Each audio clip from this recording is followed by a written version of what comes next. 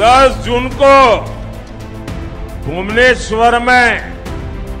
जैसे ही बीजेपी का मुख्यमंत्री शपथ लेगा एपटक नवीन बाबू अच्छा ओडावासी जानते मुख्यमंत्री प्रार्थी विजु जनता दल रवीन बाबू अच्छा बीजेपी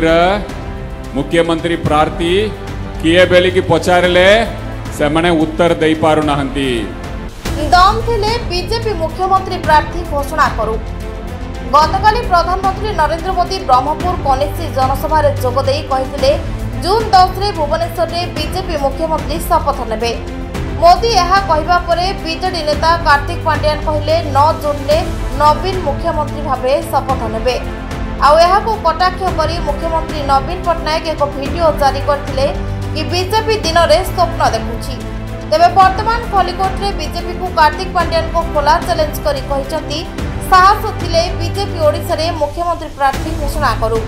ବିଜେପି ଓଡ଼ିଶାରେ ସରକାର ଗଠନ କରିବାକୁ ଦିନରେ ସ୍ୱପ୍ନ ଦେଖୁଛି ହେଲେ ଦଳ ନିଜର ମୁଖ୍ୟମନ୍ତ୍ରୀ ପ୍ରାର୍ଥୀ ବାଛି ପାରୁନି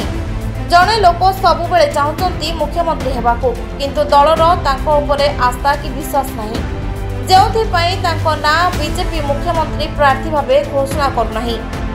বিজেপি মুখ্যমন্ত্রী প্রার্থী ঘোষণা কলে দশ প্রতিশত বিধানসভা আসন বি জিতি জিতিপার না বিজেপি নেতা কুমার জুন চারি গণতি পরে মুখ্যমন্ত্রী কে হব তাহা ঘোষণা করবে কিন্তু ওড়শার মুখ্যমন্ত্রী কে হব তাহা ওড়শাবাসী বাছবে না দিল্লি বসি হাইকমান্ড বলে খলিকোট প্রচার সভায় প্রশ্ন করেছেন কার্তিক পাণ্ডিয়ান তবে কেবল এতিকি নুহে যদি বিজেপি ওড়শার ক্ষমতা আসে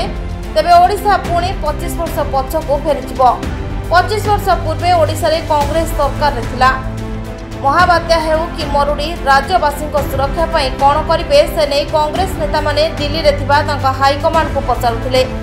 ବିଜେପିର ମୁଖ୍ୟମନ୍ତ୍ରୀ ସେଭଳି ସବୁ କଥାରେ ହାଇକମାଣ୍ଡଙ୍କ ଉପରେ ନିର୍ଭର କରିବେ